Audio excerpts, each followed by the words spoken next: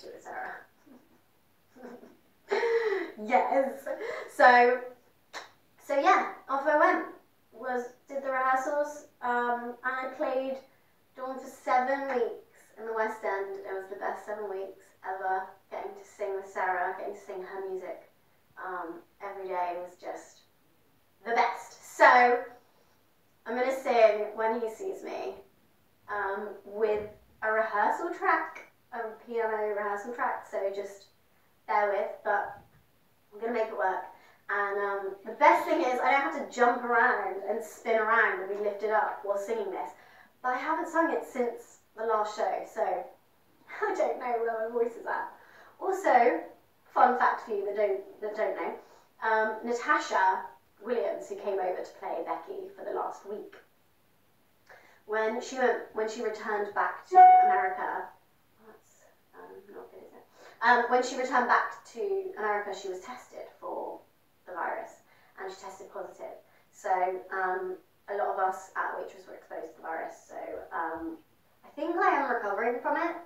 I lost my sense of taste and smell just over a week ago, and it's just coming back.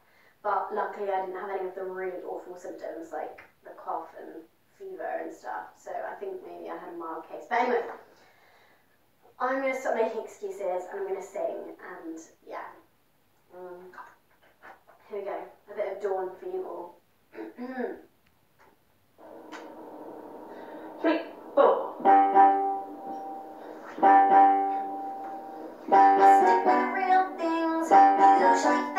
Figures, and information's in its place. I minimize the guessing.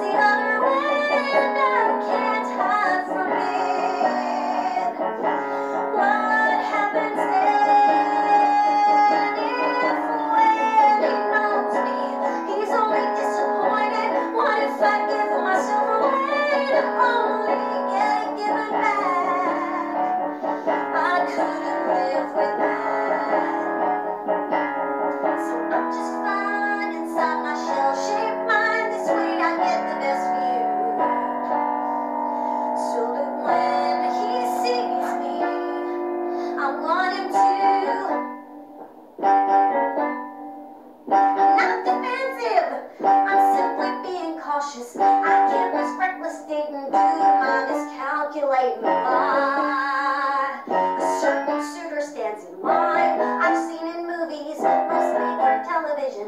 You cannot be too careful when it comes to sharing your life. I could end up a miserable life. Oh, sorry, girls, but he could be criminal. Some sort of psychopath who escaped from an